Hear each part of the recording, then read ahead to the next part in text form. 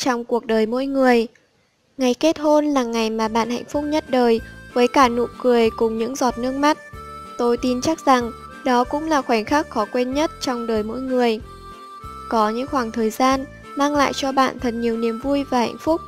Do đó, bạn luôn trân trọng những khoảnh khắc ấy như một kỷ niệm ngọt ngào. Khi bạn đạt được thành tựu gì đó, khi mọi việc bạn làm đều suôn sẻ, khi mối quan hệ của bạn tiến tới một giai đoạn đặc biệt. Đời người, chúng ta luôn có những khoảnh khắc đáng nhớ như vậy.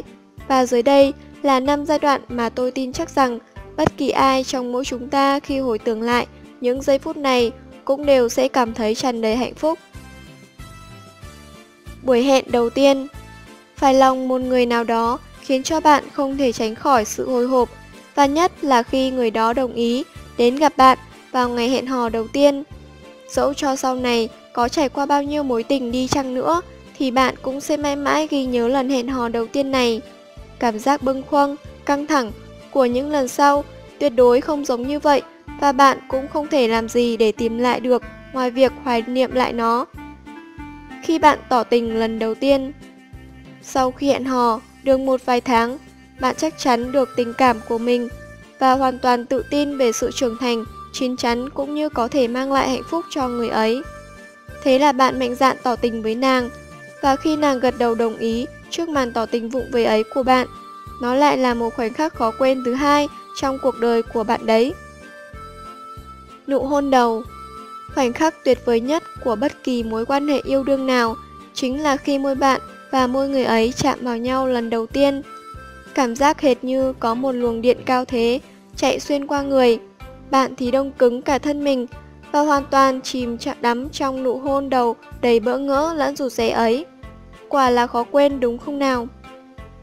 Ngày hôn lễ Ngày kết hôn chính là ngày khiến bạn cảm thấy yên tâm về mối quan hệ của mình.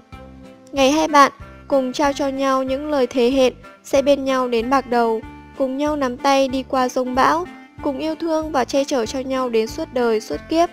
Ngày mà bạn hạnh phúc nhất đời với cả nụ cười cùng những giọt nước mắt.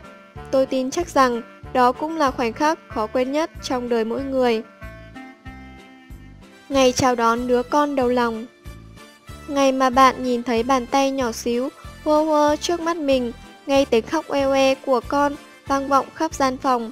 Cảm thấy mọi nỗi đau đớn, trước đó chỉ còn là con số 0, bởi vì niềm hạnh phúc làm mẹ khiến bạn như quên đi hết tất cả. Làm mẹ là một hành trình đẹp đẽ và đáng nhớ vô cùng, bởi vì cuộc sống của bạn từ ngày hôm đó sẽ thay đổi hoàn toàn. Bạn sẽ sống vì con và có trách Cảm ơn các bạn đã theo dõi video của chúng tôi. Chúc các bạn luôn vui vẻ, hạnh phúc. Hãy like, share và subscribe kênh của chúng tôi, góp phần thực sự đem lại giá trị cho bạn.